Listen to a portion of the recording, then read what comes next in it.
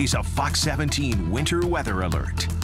Okay, let's see what's going on with the weather forecast now. Uh, Grand Rapids once again dodging the bullet with the uh, heaviest snow. I have measured uh, right about an inch here at Fox 17 on the north side of GR. Would suspect that the, the majority of the Grand Rapids proper area has gotten about an inch. But once you get just southward into northern Allegan and reports from northern that northern third of Allegan and into Barry County, there are reports of three to four to even five inches or so of snow. Pretty narrow corridor, but with that lake effect influence, it has brought in heavier banding. Now, most of this is toning down at this point in time to just scattered flurries. Here in Grand Rapids, you can write it off. We're not going to be picking up any more accumulations, just flurries into the overnight. There's some snow reports.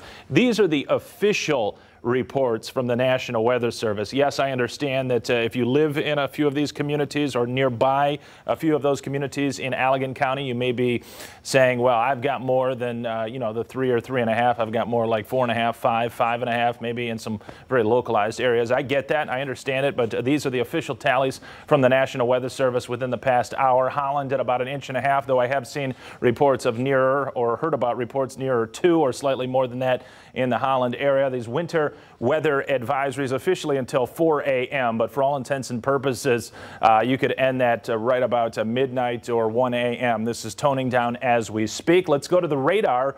And uh, still some snow showers, though, over central and eastern Allegan into Barry and e Eaton counties. So accumulating to some degree in that vicinity of our viewing area. And then down to the south cross Berrien, Cass, St. Joseph, and Branch counties. But clearly in Grand Rapids, we're backing down. Still a little bit of lake effect there, though, over southern Muskegon, stretching southward into Ottawa County as well. So Ottawa County picking up uh, a fair amount of snow out of this, uh, too. I haven't seen anything on the order of three to five inches there, but uh, probably a couple inches or so, I would think, for a good number of locations within Ottawa County. And here are those deeper purples that have been uh, enveloping the majority of the viewing area ever since we were on with the 5 and 6 o'clock show. But uh, that back edge of the snow is going to be sweeping on through by about 12, 12:30, 1 o'clock. This upper level disturbance, which I had painted out through western Wisconsin on the earlier shows, that making progress, moving pretty swiftly now, but uh, still some trailing light lake effect snow showers and flurries behind it. So those can be out there in the overnight, just not accruing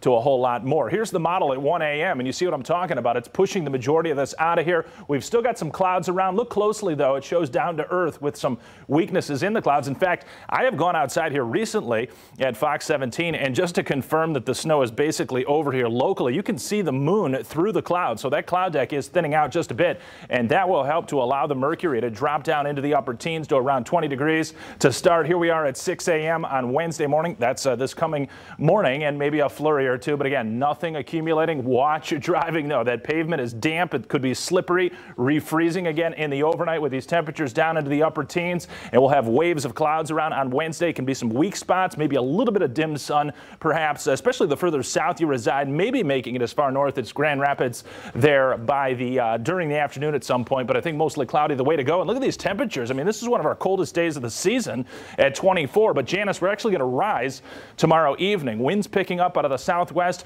We'll see numbers rise to around 30 by midnight and then into the mid 30s on Thursday. A couple flurries on Friday as a cold front sweeps on through. It's going to be cold and blustery, wind chills in the teens Friday, Saturday. Next chance of snow could be some light accumulations again by Sunday.